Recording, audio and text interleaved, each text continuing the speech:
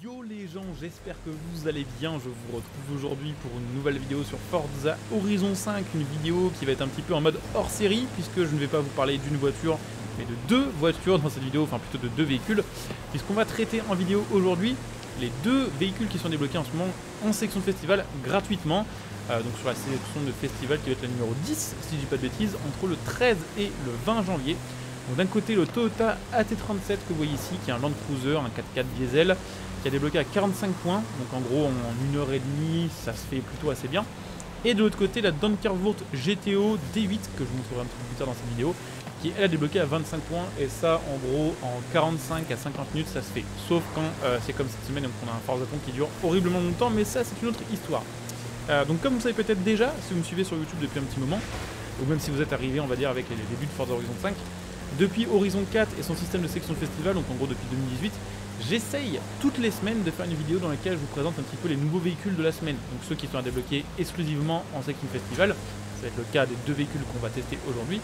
Et j'essaie toujours là, de trouver un intérêt à ces véhicules-là, soit euh, de faire un Top Gear Equinox quand euh, le véhicule en question est un véhicule très rapide, soit de faire euh, bah, du drift ou du drag, ou de partir pour une balade au volant si la voiture est vraiment cool et que j'ai envie de la rouler tout simplement chill.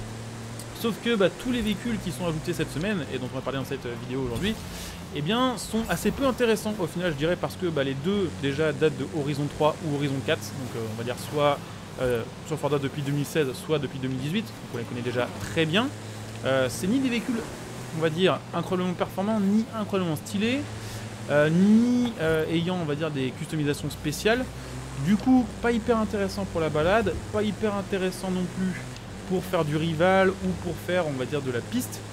Donc, on va dire que je ne me voyais pas faire une vidéo sur le Land Cruiser et une vidéo sur la Dunkervort, mais plutôt, on va dire, mettre les deux modèles dans une seule vidéo pour euh, voilà, faire un truc d'un petit peu intéressant quand même pour pouvoir regarder, d'un peu intéressant à faire pour moi, sans voilà, se forcer à faire euh, deux vidéos de 10 minutes avec des modèles sur lesquels il n'y a pas grand chose à dire. J'ai quand même réussi à trouver, faut le dire, un petit point commun entre ces deux voitures, ces deux véhicules, c'est que euh, elles ont, ou ils ont plutôt, des énormes turbos. Voilà, alors effectivement sur Horizon 5, il y a beaucoup de véhicules qui peuvent être passés en turbo. Euh, mais voilà, il y a souvent la config où vous avez euh, genre 800 chevaux et euh, le turbo compte pour 150 ou 175. Par contre, c'est assez rare d'avoir des véhicules qui, bah, comme aujourd'hui, où le turbo en fait compte 50% de la puissance en fait. c'est le cas déjà très clairement de ce Land Cruiser qui a du coup un énorme effet turbo puisque bah, au total on a 555 chevaux et le turbo à lui seul euh, permet d'en rajouter 300 si je dis pas de bêtises. Donc on a plus de 50% de la puissance qui viennent du turbo. Et euh, en fait c'est tout ce qui est intéressant très clairement parce qu'il est un peu éclaté en termes de tenue de route. Euh, en B, j'ai regardé, il est pas foufou parce qu'il bah, manque de puissance. En A, il est pas foufou parce qu'il manque de tenue de route. Et effectivement, on peut le monter en S1, mais si déjà en A c'est nul parce qu'il n'y a pas de tenue de route, en S1 c'est encore pire. En plus de ça, ouais, il est pas spécialement joli, il a pas spécialement de custom. Il est assez énorme avec des grosses roues. Il n'y a pas vraiment non plus, on va dire, le moyen de, le mettre en mode civil et d'en faire un Land Cruiser classique. C'est pas vraiment possible non plus. Donc euh, au final, bah, on a un 4x4 qui est un peu nul dans toutes les catégories, qui est pas hyper intéressant, mais qui effectivement a un gros turbo.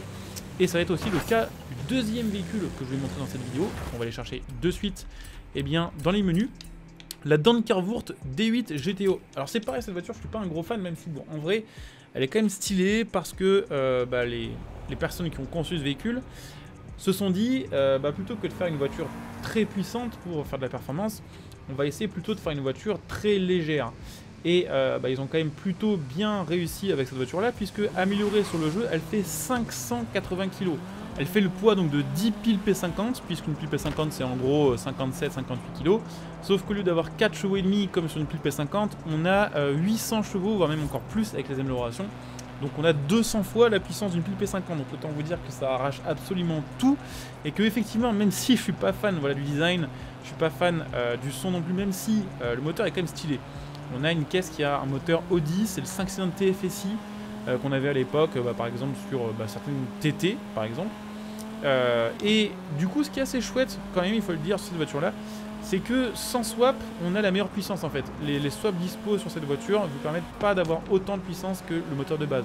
Par contre, euh, c'est mieux pour optimiser peut-être certaines catégories.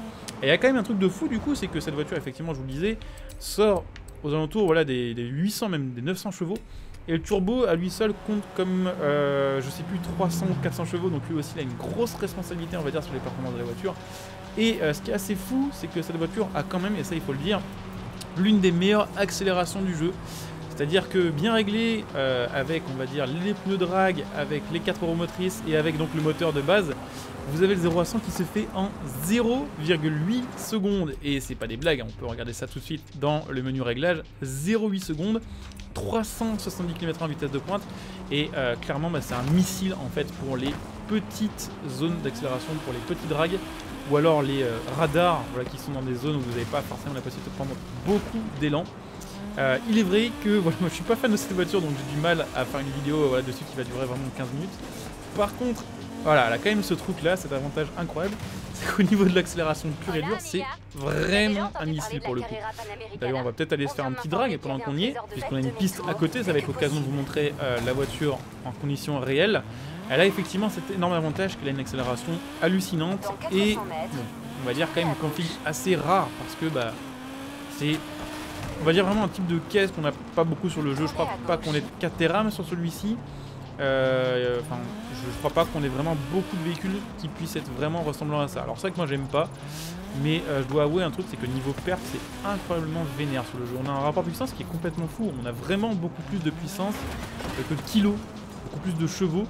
Et euh, là où certains sont fiers voilà, de proposer des Koenigsegg avec un rapport puissance de 1-1, genre 1360 chevaux, 1360 kg, euh, bah là on a 900 euh, chevaux et 580 kg. Donc forcément, ça donne quand même des accélérations qui sont euh, particulièrement pétées. pourquoi le GPS ne m'emmène pas là où j'ai demandé? Vous savez quoi, on va, couper. Et puis bah, on va se trouver directement pour le, départ du drag, ce sera bien plus simple. Donc ouais, on va se faire un petit drag avec notre Donkervoort GTO, histoire de vraiment tester le truc en conditions réelles. Préparez-vous, regardez bien le compteur parce que vu l'accélération qu'on a, ça va aller très très vite. Et euh, sachez qu'en plus j'ai réussi un petit peu à mieux la régler d'ailleurs depuis le début de cette vidéo. Puisque là j'ai réussi à gagner 0,01 euh, pour l'accélération. 0,01 seconde, donc on a encore un peu, un peu plus pété. Donc c'est parti, ça va aller très vite, hein, je préviens. Alors lui il était encore plus vite que moi. Mais euh, voilà, clairement les autres ne peuvent pas rivaliser. Et là on est quand même sur une belle difficulté. Bon, alors après, effectivement, tous les 300, c'est un peu plus galère pour elle. Mais euh, le 0 à 200 est quand même assez hallucinant avec cette voiture-là. Donc ouais, vous l'aurez compris, euh, pour moi pas énormément d'intérêt, mais bon, je pense que pour d'autres personnes évidemment, euh, la Dunker World peut avoir pas mal d'intérêt. Le Land Cruiser, j'ai un peu plus de mal à y croire, mais bon voilà, dites-moi si en commentaire vous trouvez que le Toyota est incroyable. Eh bien, n'hésitez pas à me le signaler. Donc voilà, ça va être la fin de cette vidéo pour moi. bon, je sais pas, peut-être qu'il y aura d'autres occasions dans lesquelles je referai ce type de vidéo là. Je pense que dans les semaines qui arrivent, les contenus sont un peu plus intéressants. Bon, on a le AT36 qui est toujours pas dingue, mais sur Horizon 4, il permettait quand même, je crois, euh, d'être plutôt euh, pas mal, on va dire, en termes de tenue de route et en termes de boss. Pour le cross-country, je crois, dans les petites catégories en B ou en A, donc il y aura peut-être moyen, par contre, là, pour le coup, de faire une vidéo dédiée. Et puis, évidemment, euh, la semaine d'après, ça, par contre, plutôt chouette, quand même, la Vauxhall Carton et la Jaguar XKS. Et là, c'est sûr, il y aura des choses à dire et à faire. Ça va être deux caisses vraiment chouettes, je pense, pour la balade et qui, en plus, à mon avis, peuvent être un petit peu méta. Donc voilà, on va arriver à la fin de cette vidéo. Bah, n'hésitez pas, comme d'habitude, à laisser un petit like, à commenter, à partager, à vous abonner. N'hésitez pas évidemment à venir me follow sur Twitch pour être notifié de mes prochains lives. Comme d'habitude, ma chaîne Twitch est en description et en commentaire, donc n'hésitez pas à follow. Si vous avez Amazon Prime, n'hésitez pas à utiliser votre Twitch Prime. Qu'est-ce qu'il fait euh, Voilà, pour me soutenir gratuitement et profiter de bonus de votre côté. Vous m'en trouvez sur les réseaux sociaux, notamment sur Twitter. N'hésitez pas à me rejoindre. Bien sûr aussi, me soutenir gratuitement en utilisant mes liens de soutien sur cette vidéo pour faire vos achats. Euh, à prix réduit en plus, hein. par exemple, le lien Instant Gaming pour acheter euh, vos jeux et vos cartes d'abonnement, euh, en me soutenant par une manière et en ayant en plus des réductions supplémentaires. Mon lien Metal.net pour acheter vos composants PC, vos périphériques et tout ce qui va avec. Et pour ceux qui veulent me soutenir sur le long terme, n'hésitez pas à devenir un soutien de la chaîne. Via le bouton rejoindre sous cette vidéo, là aussi il y a plein de bonus et ça soutient la chaîne de ouf. je coupe ici, je vous dis à très bientôt. Bonjour à tous, ciao